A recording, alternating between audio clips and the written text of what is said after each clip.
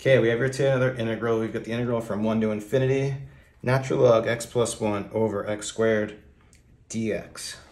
Okay, I thought this would be a good opportunity for me to use Feynman's trick on this, even though it's not necessary, right? Because what you could do on this is integration by parts. You could differentiate natural log x plus 1. You could integrate, you could integrate 1 over x squared just using power rule and it's gonna work out fine that way. I think it's easier that way. I mean, usually, I guess integration by parts tends to be easier. So, so if you're in a rush, go ahead and do it that way. But for me, let's do this using Feynman's trick. So what I wanna do is create another expression with a parameter on this. I'm gonna create some function f of a, creating this new variable a. And how I wanna do it here is, let's just rewrite this thing. And I'm gonna create the parameter on the x. So we're gonna turn this into ax plus 1 over x squared dx.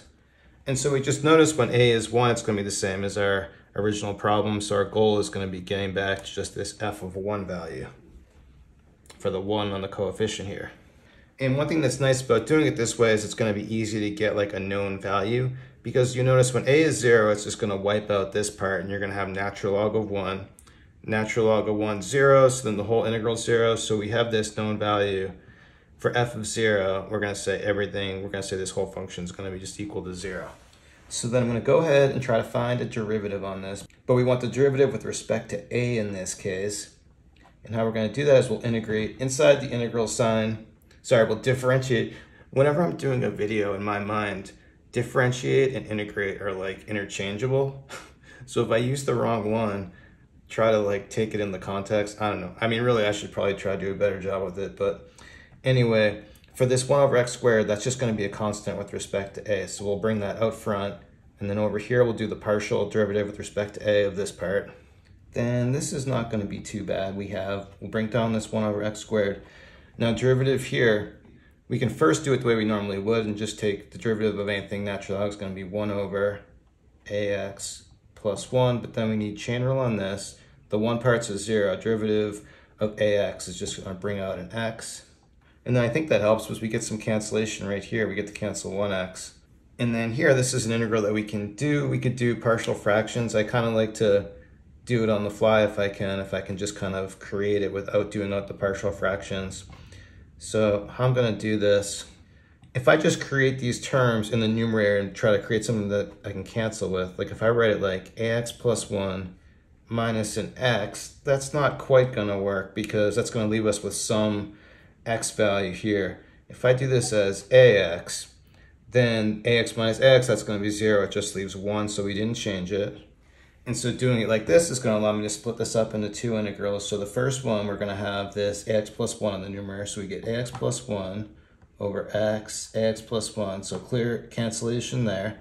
For this second one, I'll bring a out as a constant with respect to x, of course.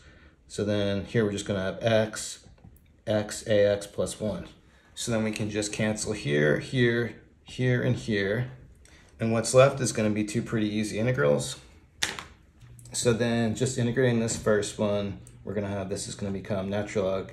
Drop the absolute value because our um, x values are always positive. So it's just going to be natural log of x. I'm going to evaluate this stuff all together, so I'm not going to evaluate them individually. Then here, same kind of thing. We're going to have natural log Again, drop the absolute value, we'll have ax plus 1. But now we need this a to come out front in the denominator, so we'll have an a over here, evaluated from 1 to infinity. a's cancel here. And then I think maybe let's put these together so it doesn't look like two divergent pieces. So we'll have it as natural log x over ax plus 1 from 1 to infinity. Now when you plug infinity in here, the limit of this thing as x goes to infinity is just going to be 1 over a.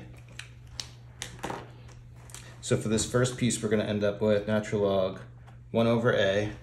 And then for the second part, we'll just plug in a 1 and we get natural log of 1 over a plus 1. And then I can clean this up a little bit. I don't think I'll put them together, but what we can do is because we have everything in the denominator, I can flip it and change the sign. So I can write this as natural log a plus 1 minus natural log of a. And so this right here will be our f prime of a value. Then now that we have our f prime of a value, we want to get back to f of a, just remembering like this right here, our goal is going to be f of 1 So what I can do is we can just integrate this with respect to a. So on the left side, when you do this, this is just gonna become f of a over here. And then over here, we're gonna have an integral of this stuff with just with respect to a. And then here I can just really use the formula on each of these. I mean, this we can just use like our integral of ln x formula. We can use the same formula here. You could do like a u substitution right here, but because the derivative of this is just gonna be like 1 dA, the u substitution doesn't really do anything. So we can just kind of do it in our head and just kind of plug into the formula. So for this first part, we're gonna have a plus 1 natural log a plus 1 minus a plus 1, I'll just leave it like this for now, and then we have the same formula on this piece. Let me kind of do it carefully. So this is going to be A, ln A minus A, and then we have a plus C on the end. Then just cleaning it up a little bit, here we're going to have, when you distribute the minus, we're going to have a minus 1, but we have a constant on the end, so the constant is going to just absorb that 1. Let's get rid of that. Then here, when we distribute this minus sign, we get a plus A minus A. That's just going to be 0, so that piece goes away. And so cleaning this all up for our f of a value, we have, we'll copy down this, a plus 1 ln a plus 1 minus a ln a plus c. And we come back and we use this condition that we established at the beginning because we want to get rid of this plus c. We're going to want here a numeric value without a c in it.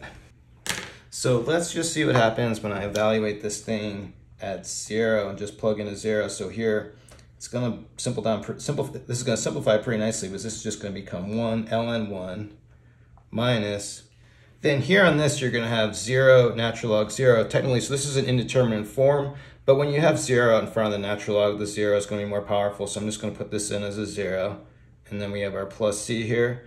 Natural log of 1, this is also 0, and this whole thing is equal to 0.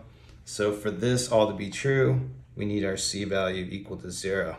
So what I can do is we can just get rid of this and then we've established our f of a value. So now to finish it off, we just come back to our original problem where we want f of 1. The nice thing about Feynman's trick though is you kind of come up with a whole set of solutions usually, right? Because it doesn't matter now if this was ln like 5x plus 1 or whatever, we have a way to quickly get to the solution. So anyway, let's just evaluate at 1 and see what happens. So here we're going to have 1 plus 1 is 2, natural log 2.